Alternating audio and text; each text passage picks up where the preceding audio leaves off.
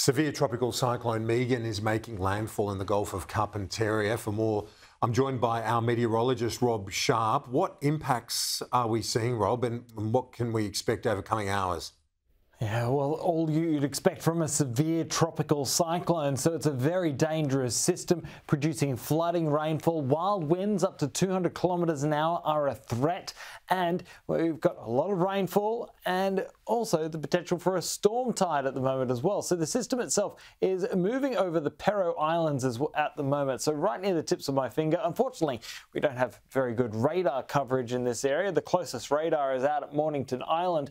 Uh, so you can see the wet weather weather streaming in, but the observations do help us at the weather stations. Centre Island has gusted to 132 kilometres an hour on the weaker side of the system, so I'm sure gusts have been much stronger on the other side as the tropical cyclone is making landfall at the moment. And the rain totals 200 for Centre Island, uh, but areas just a little ways further east of there, I'm sure would be closer to 300 millimetres as that system has brought in torrential rainfall. A warning still exists from Port Roper inland to Borroloola and McArthur River Mine and out toward Mornington Island as well. Uh, so the the current, the coming hours are probably the most dangerous for this system as it makes landfall. Uh, it's at its strongest strength right now, and it's also producing that da dangerous storm tide as well. But as we move into tomorrow, the system will start making a bit more of a westerly track through the middle of the Northern Territory, taking the heavy rain with it out towards Tennant Creek and surrounds. And so uh, many roads are once again becoming impassable across the Northern Territory as this makes further inroads.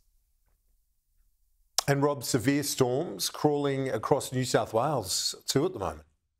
Yeah, that's right. So Tamworth has seen its heaviest rain in more than a year. It's had uh, 60 millimetres since 9 o'clock and it had 30 millimetres before 9 o'clock, causing some flash flooding, as you can see here. Uh, the storm's very slow moving around the Tamworth area. There's a few other showers and storms elsewhere in the state and plenty of showers streaming onto the south coast as well. And so through today, we may see a little bit more wet weather into southeast Queensland. Sydney and Newcastle could see some more showers, but they're more likely tonight.